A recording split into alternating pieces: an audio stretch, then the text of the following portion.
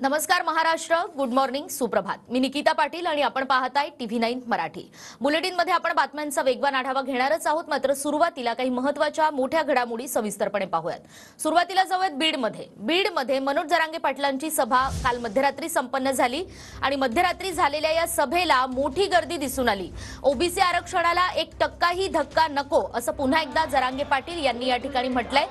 मात्र आमच्या हक्काचं आरक्षण आम्हाला द्या असा सुद्धा जरांगे पाटील यांनी आपल्या या भाषणादरम्यान म्हटलेलं आहे. सभा आमचं म्हणणं आहे ओबीसीच्या आरक्षणाला एक टक्काही धक्का नाही लागला पाहिजे.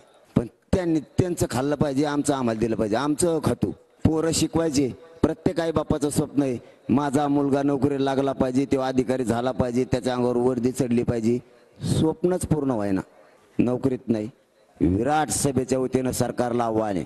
ही एकदा डोळे फिरून इकडे बघा सरकार जागा आहे. यांचं बंगले आले गाड्या आल्या पैसे आले यांचे पोरं बाहेर देशात शिकायला गेले.